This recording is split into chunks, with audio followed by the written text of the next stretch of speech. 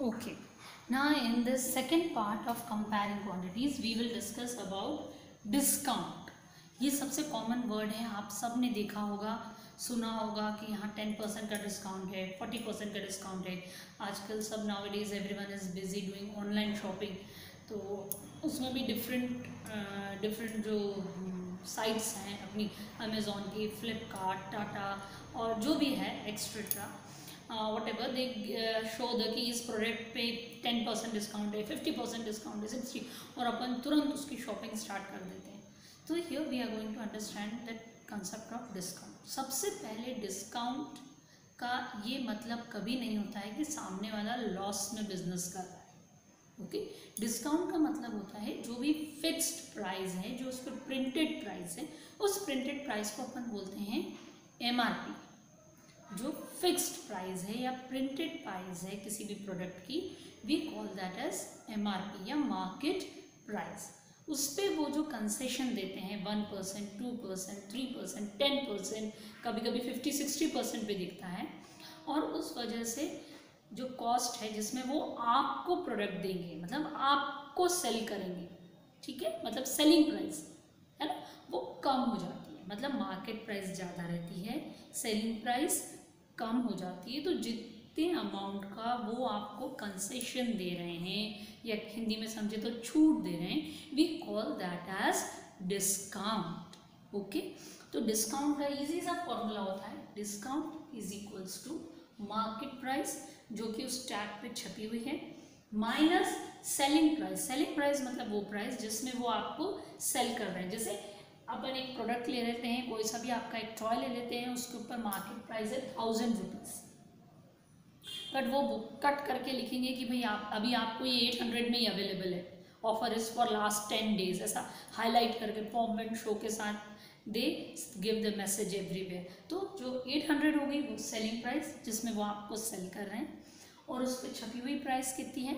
Thousand rupees तो हम जब दोनों का डिफरेंस निकालते हैं तो वी गेट डिस्काउंट ओके अब डिस्काउंट कई बार परसेंटेज में भी होता है। आप ढूंढेंगे ईजिली तो मेनी प्लेसेस यू फील ना you get to see ten percent twenty percent mobile में now it is if you are doing the shopping तो भी आपको दिखेगा फिफ्टी परसेंट फ्लैट ऑफ़ है।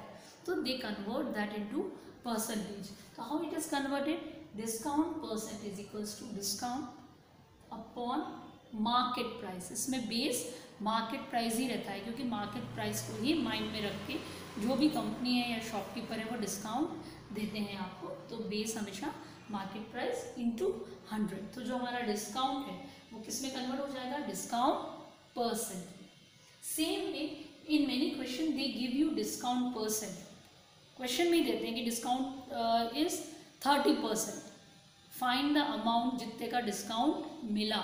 तो what will be the formula discount is equals to discount percent of M P M P means mark price mark price का हम निकालेंगे discount percent तो we will get that discount in rupees after that it comes normal है एक simple सा कि they give की market price पता लगाएँ. अगर कोई प्रोडक्ट हमने सेल करा है मतलब सेलिंग प्राइस उसकी दी हुई है और डिस्काउंट दिया हुआ है तो ऑब्वियसली सेलिंग प्राइस और डिस्काउंट को प्लस करेंगे तो you will get mark price same में इसी को शफल करा हमने तो selling price is equals to mark price minus discount discount mark price में से माइनस कर देंगे डिस्काउंट तो हमें सेलिंग प्राइस मिल जाएगी.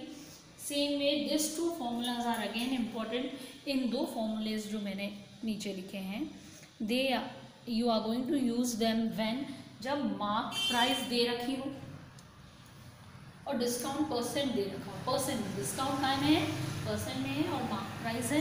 एंड दे आर आस्किंग कि सेलिंग प्राइस पता लगाएँ कि हमें वो प्रोडक्ट कितने में मिलेगा। ये शॉप कीपर हमें कितने में बेचेगा? दैट मीन्स शॉपकीपर हमें कितने में सेल करेगा? सेलिंग प्राइस तो the formula will be mark price bracket में hundred minus discount percent bracket close upon hundred okay similarly वो दे कैन आस्क कि हमने आपको सेलिंग प्राइस क्वेश्चन में दे दी है, हमने डिस्काउंट परसेंट दे दिया है।